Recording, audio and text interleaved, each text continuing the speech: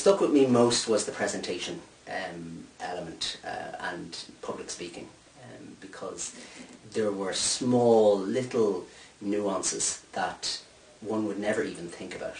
um, down to the detail and how you even present yourself, how you stand, how you articulate your point or how you project your voice in a theatre.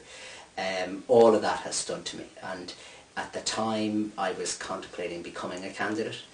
um, so I found it, I, I, was very attentive to that particular element of it because I knew that section was going to be extremely beneficial to me uh, if that were, if I was successful in being a candidate. Uh, ultimately I was, um, but I think for a lot of people, um, presentation again, at some point in time, you're going to be uh, giving a presentation uh, in your organisation, and I think that's invaluable.